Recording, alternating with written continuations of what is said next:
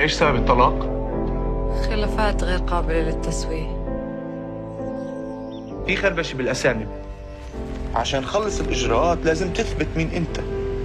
الفيلم كانت بدايته طبعا في مهرجان القاهرة وربح آه، جائزة نجيب محفوظ لأحسن سيناريو قدم لي إياها إبراهيم عبد المجيد فكانت يعني شيء كتير آه، كتير حلو وعظيم وكله. ويعني لأنه كمان تعبنا كتير لحد ما وصلنا هاي المرحلة. مش سهل واحد يعمل فيلم ومش سهل يعمل فيلم في فلسطين. مش سهل يعمله ب 24 يوم وصورنا نحن بلشنا في أريحة وفي آه، طيبة رام الله ورام الله وبعدين دخلنا على الداخل وصورنا بعدة محلات اللي هي لأنها آه، رحلة رحلة بالسيارة. فحبينا إنه ناخذ كل المحلات اللي ممكن تروح السيارة فيها. آه، القصة بدت في حيفا. محل محل فلافل.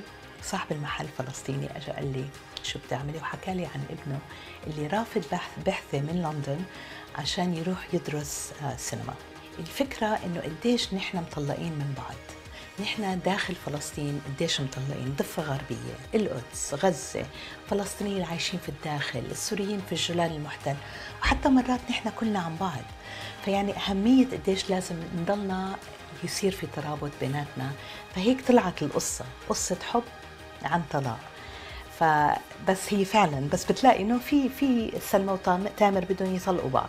فتروح هاي الرحلة. كان عندنا طاقم جيد جدا ونحن بنشتغل نحاول نشتغل مع كثير من نفس الناس من أول فيلم لهلأ. فبيصير في نوع من تفاهم بين الكل.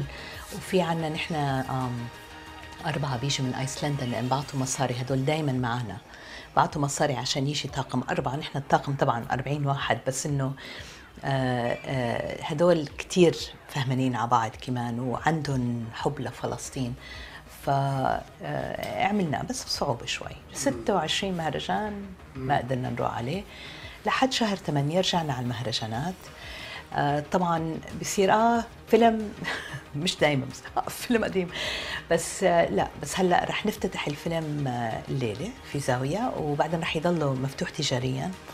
فكتير متحمسين إنه وقت مهرجان القاهرة وهلأ عم بفتتح الفيلم. فهذا آم، آه، كتير مهم. وبعدين إن شاء الله رح نقدر نفتتح آه، نادي رح يقدروا يفتحوا يفتتحوا في تونس في الأردن طبعا فلسطين نشوف محلات تانية في العالم العربي. بس هالكوفيد طبعا هلك الدنيا كلها.